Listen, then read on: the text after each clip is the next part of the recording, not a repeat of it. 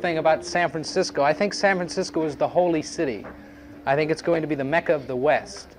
And uh, what I'm going to propose in January, although I don't know about the ethical propriety of it, is that uh, Allen Ginsberg run for mayor of San Francisco.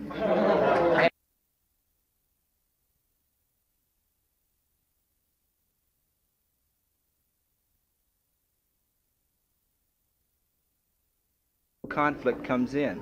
Uh, the reason we can, can no longer identify with the kinds of activities that, that the older generation uh, are engaged in is because those activities uh, are, are, for us, meaningless. Uh, they have led to a, uh, uh, a monstrous war in Vietnam, for example.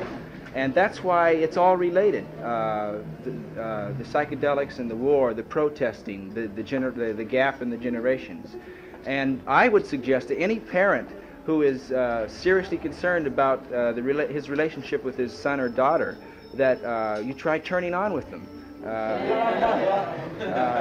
I, I, think this would be very useful.